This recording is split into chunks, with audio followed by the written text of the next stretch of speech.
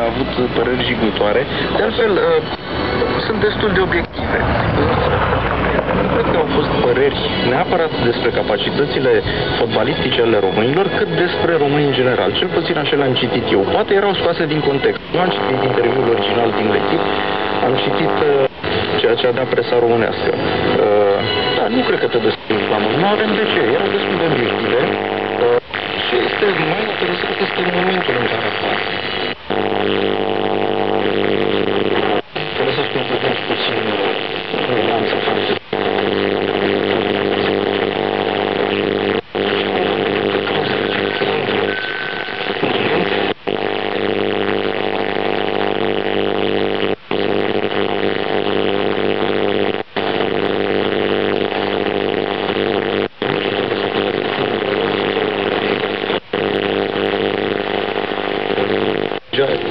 România va juca.